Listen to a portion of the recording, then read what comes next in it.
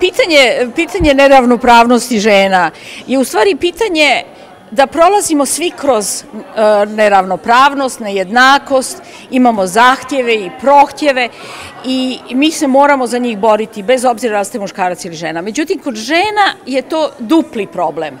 Znači, ne samo u društvu, nego i u svojim ličnim odnosima. Ja sam to uvek gledala i zato sam se i aktivirala sa stanovišta potrebe da menjamo društvo, da to društvo bude po meri čoveka, da to društvo bude za žene, za muškarce i za nas sve. Ne možemo živeti neravnopravno. Nema načina da se razvija naše društvo neravnopravno i da se emancipiramo. Znači, krajnje je vreme da se emancipiramo.